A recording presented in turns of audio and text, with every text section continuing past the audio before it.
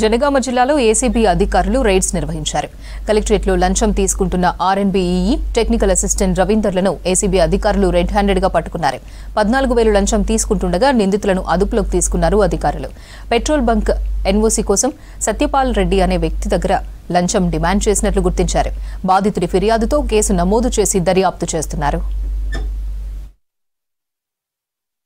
ఈరోజు collector complex జనగామలో executive engineer R and B ఆఫీస్లో జరిగిన ట్రాప్ వివరాలు ఏంటంటే గత సంవత్సరం జూన్ నెలలో హిందుస్థాన్ పెట్రోల్ పంప్ వారు లింగాల గన్పూర్ ఏరియాలో కొత్త పెట్రోల్ పంప్ ఎస్టాబ్లిష్మెంట్ చేయుట కొరకు నోటిఫికేషన్ ఇచ్చారు.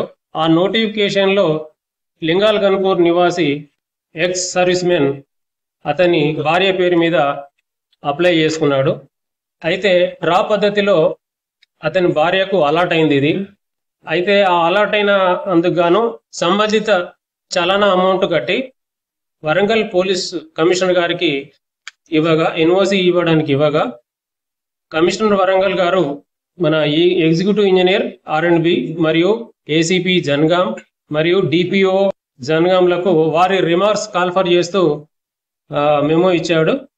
అయితే ఎన్ఓసి ఇష్యూ చేయటం గాను R and B executive engineer అయినటువంటి చిలకపాటి హుసేన్ తనకి పన్నెండు వేల రూపాయలు లంచంగా ఇవ్వాలని డిమాండ్ చేసిండు.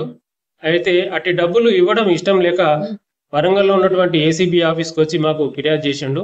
అతని ఫిర్యాదు మేరకు ఈ రోజు వచ్చి అతను డబ్బులు ఇస్తుండగా పన్నెండు వేల రూపాయలు హుసేన్ ఈ గారికి ఇస్తుండగా మేము డైరెక్ట్గా పట్టుకున్నాము. అలాగే ఈ గారి సూచనల మేరకు వాళ్ళ ఆఫీస్లో పనిచేస్తున్నటువంటి రవీందర్ ఏటీఓ గారికి రెండు వేలు కూడా డబ్బులు అతను డిమాండ్ చేసి తీసుకున్నాడు. అతన్ని కూడా మేము ఈ రోజు రెడ్ హ్యాండెడ్గా పట్టుకున్నాము. ఈ హుసేన్ గారు అలాగే ఏటీఓ రవీందర్ గారు ఇద్దరిని కూడా మేము అదుపు అదుపులోకి తీసుకున్నాము. ఈ రోజు ఈ ఇద్దరిని అరెస్ట్ చేసి రేపు పొద్దున